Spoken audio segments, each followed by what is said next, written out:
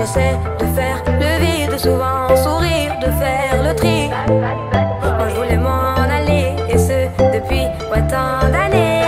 J'essaie de faire le vide, souvent.